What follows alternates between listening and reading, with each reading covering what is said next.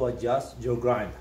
Okay, most of the grinder like a M, Macap M4D or the ECM C54s or even the Eureka Atom, the Mazzer grinder, different grinder, they are the same principle. All what it is is to try to bring the two burrs once against to another to try and to basically make it finer or coarser so the extraction time happens. Now, what we always looking for, our normal base is about 30 mils of coffee in about 30 seconds time. So with the easy C54 in here, we got a small little grinder, is step by step adjustment. So as I go closer, basically it gets finer. So what are we going to do? We're going a little bit finer. Always, tricks, they are always, once you adjust your grinder, purge a little bit before you start it. So that the idea is if it runs too fast, make an adjustment. If it runs too slow, make an adjustment. So make it finer or coarser on the neck. So what happens is we never change our routines as well. So we always try to do the same way every single time. So we're looking for about 30 minutes of coffee in about 30 seconds time, and then we try our coffee.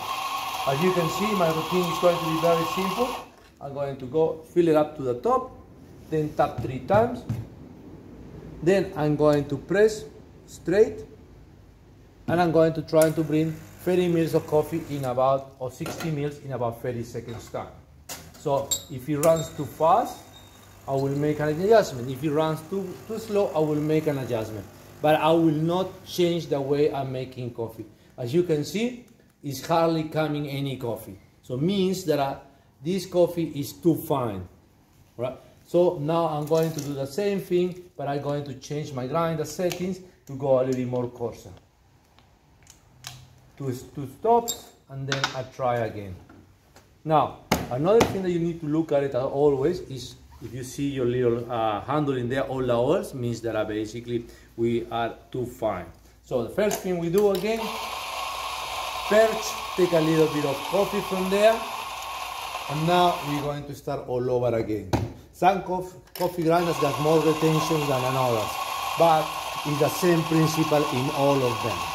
So we try to again and see how we go.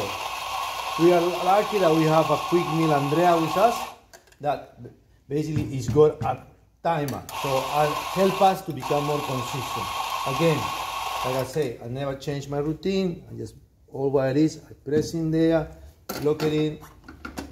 So and then I start extracting coffee.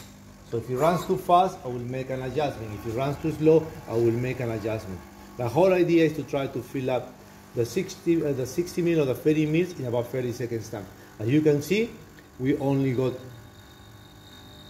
17 or about 18 seconds in there, so it runs too fast. So now we need to adjust our run. I hope so that you enjoy it. Hope so you that will be help, uh, help you to understand better how to adjust your grinder.